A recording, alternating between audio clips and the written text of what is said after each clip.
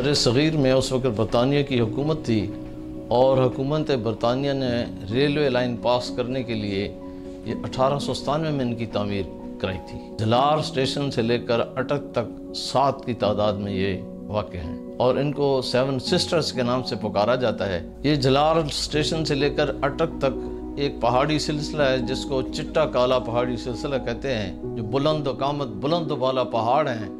और उनके दरमियान कोई रोड या कोई रास्ता वाक़ नहीं है, इसलिए रेलवे लाइन को इन सुरंगें बनाकर अटक तक पहुँचाया गया था।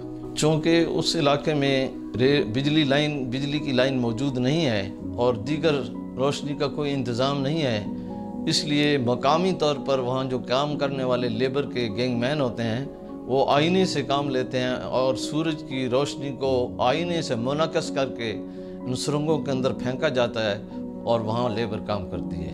काफ़ी मज़दूर काम करते हुए उन सुरंगों की तामीर के दरमियान वफात पा गए थे, जिनकी कब्रें आज भी उनके कुर्ब जवार में मौजूद हैं। आलमी सतह पर इन सुरंगों को एक बेहतरीन शाहकार गिना जाता है। उस ज़माने की इंजीनियरिंग के मुताबिक ये एक बेहतरीन नमूना है तामीर का शाहकार है।